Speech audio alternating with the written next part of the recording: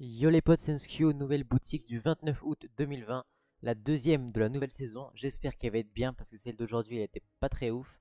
Du coup c'est parti. Oh non, elle est nulle. Le skin Cyclo au prix de 2000 V-Bucks. Ils veulent pas nous mettre des nouveaux skins, ils abusent. Terreur sombre au prix de 1200 V-Bucks. Symbole sombre, un planeur que j'aime énormément au prix de 500 V-Bucks. Foudre rageuse au prix de 1002. Ok.